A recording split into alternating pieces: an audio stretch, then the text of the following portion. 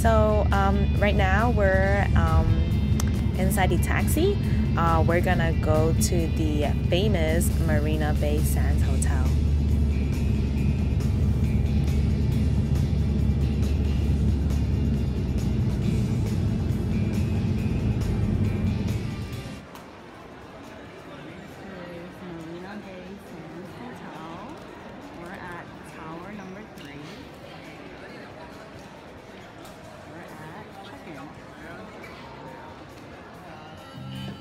Alright,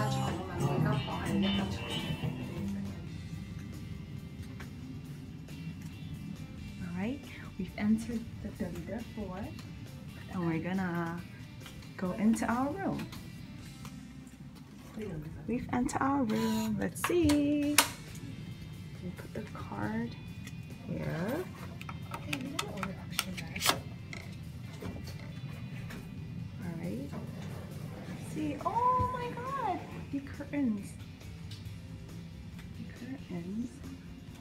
Open themselves.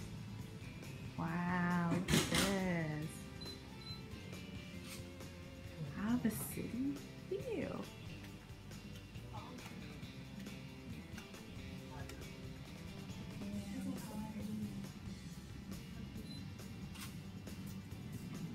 How's the view? Alright, here's the main bathroom. Alright, let's see what we have here. All the amenities, shampoo, conditioner, body wash. Alright. In here.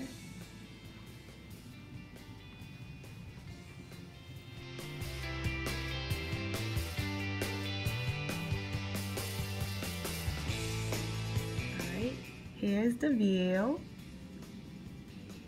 from our hotel. Looks amazing in the morning. Can't wait to see it at night.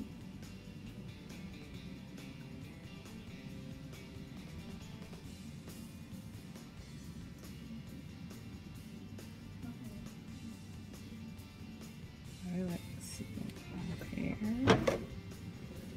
Ooh, we have tea. We have coffee. All of these are complimentary. All right, let's take a look at our mini fridge. Let's see what we have here.